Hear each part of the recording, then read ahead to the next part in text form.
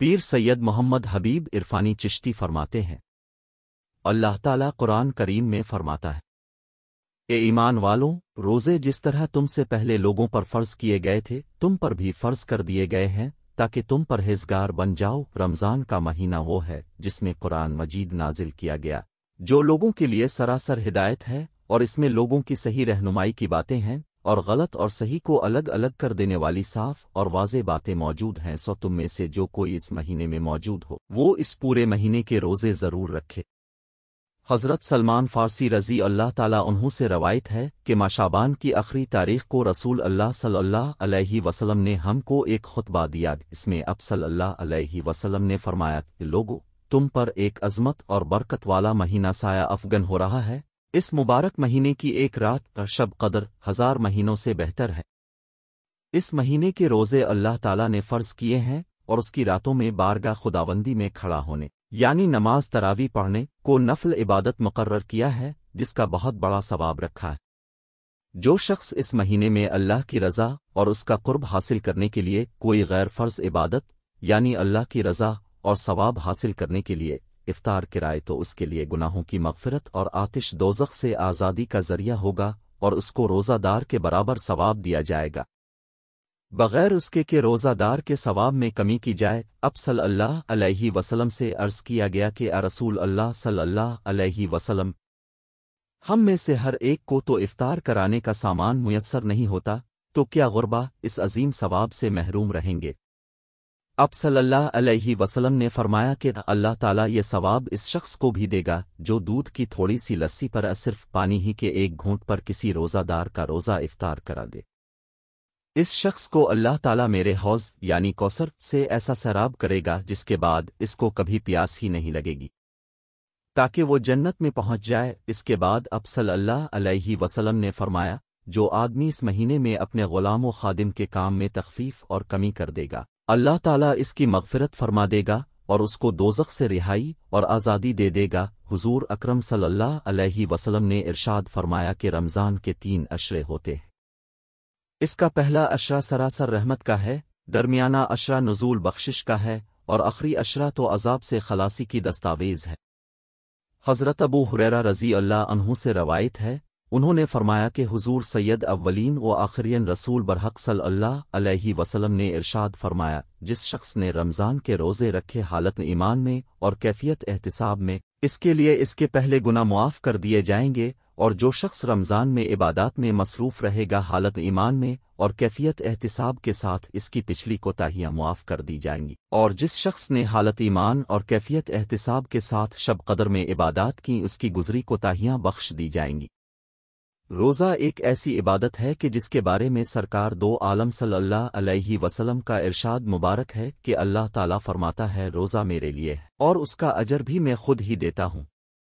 यानी ये अल्लाह और उसके बंदे का बड़ा रास्त मामला है कि बंदा अल्लाह ताला के हुक्म की बजा आवरी में तमाम दिन खाने पीने और नफसानी ख्वाहिशात से रुका रहता है और उसके इन आदाब की पूरी पाबंदी का ख्याल व एहसास रखता है और उन पाबंदियों के मुताबिक अपने दिन रात को गुजारने की काविशें करता है। तो यकीनन अल्लाह ताला इसका अजर खुद ही अता फरमाता है।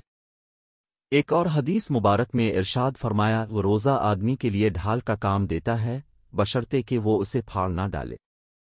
हज़रत अबू हुररा रज़ी अल्लाह अनहू से है कि जब ये इरशाद फरमाया तो अर्ज़ किया गया, इसे किसी के साथ फाड़ा जा सकता है? इरशाद फरमाया, झूठ अगीबत के साथ। यानी रोज़े की हालत में झूठ, गीबत, गालम गलोह, लड़ाई, झगड़ा और दूसरी इस तरह की बुरी चीज़ों और बुरी बातों से सख्ती के साथ मुमानत की गई है। हदीस मुबारक में है कि जिस किसी ने रोज़ा की हालत में बुरी बात कहना और इस पर अमल करना न छोड़ा तो अल्लाह को उसके भूखा प्यासा रहने की कोई ज़रूरत नहीं है। अगर कोई रोज़ादार रोज़ा रखने के बाद में फिस्क व फजूर, लड़ाई, झगड़ा, गालम गलोह फहश गोई या दूसरी इस तरह की बातों से नहीं रुकता तो ये इसका रोज़ा ही नहीं है, बल्कि ये इसका फाका बन जाता है, जिसका अल्लाह ताला के अहकाम के साथ कोई ताल्लुक नहीं है। एक और हदीस मुबारक में है कि रोज़ा सिर्फ़ खाने पीने से रुकने का नाम नहीं है, बल्कि रोज़ा तो लगवियात और बुरी बातों से बचने का नाम है।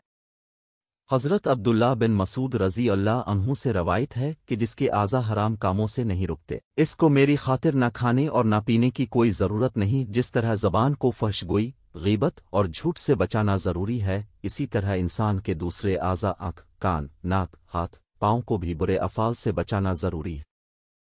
हज़रत अब्दुल्ला बिन अब्बास रज़ी अल्लाह अनहू की बयान करदा, एक हदीस मुबारक के अल्फाज कुदसी कुछ इस तरह हैं कि जब रमज़ान का महीना आता तो रसूल अल्लाह सल्लल्लाहु अलैहि वसल्लम कैदियों को छोड़ देते और हर साइल की मुराद पूरी करते। रमज़ान में जहाँ बहुत सी बरकत व इनामात हैं, वहीं मुसलमानों के दूसरे लोगों के साथ अच्छे रवैयों की भी तलकीन फरमाई गई है और नबी करीम सल्लल्लाहु अलैहि वसल्लम ने ऐसे अमल मुबारक से भी इस बात की तरफ़ तवज्जो दिलाई है। गोया रमज़ान का महीना रसूल अल्लाह सल्लल्लाहु अलैहि वसल्लम इस महीना में बाकी महीनों की नस्बत बहुत ज़्यादा जूद व सखा और करम फरमाते। दीन इस्लाम में मुसलमानों के लिए हर मौका के लिए आसानियाँ रखी गई हैं। जैसे कुरान मजीद में इरशाद हुआ, तर्जमा अल्लाह ताला तुम्हारे हक में आसानी चाहता है, वो तुम्हारे हक में तंगी हर गज नहीं चाहता। रोज़े में कोई मुसाफिर हो या मरीज़ हो तो उसके लिए भी रुख्सत की इस तरह से इजाज़त है कि वो इस हालत में रमज़ान के रोज़ों की कजाबात के दिनों में अदा करे। अगर कोई शख्स उम्र के इस हिस्सा में है या मर्ज की इस हालत में है कि इससे साल के बाकी अयाम में किसी भी वक्त रोज़ा रखना मुमकिन नहीं तो उसके लिए फिदिया का हुक्म है। एक और हदीस मुबारक में रसूल अल्लाह सल्लल्लाहु अलैहि वसल्लम ने इस महीने को सब्र और गमखारी का महीना करार दिया है। दीनी इस्तेलाहात में सब्र के मानी अल्लाह की रज़ा के लिए अपने नफस की ख्वाहिशों को दबाना और तलखियों और नागवारियों को बर्दाश्त करना है, जिससे इसके अंदर इन गुरबा व मसाकिन की हमदर्दी का जज्बा भी पैदा होता है। जो नादारी की वजह से फाकों पर मजबूर हो जाते हैं अल्लाह ताला हमें तालीमात कुरानी व संत नब्बी सल्लल्लाहु अलैहि वसल्लम पर पूरे तरीक से अमल करने की तौफीक अता फरमाए, आमीन।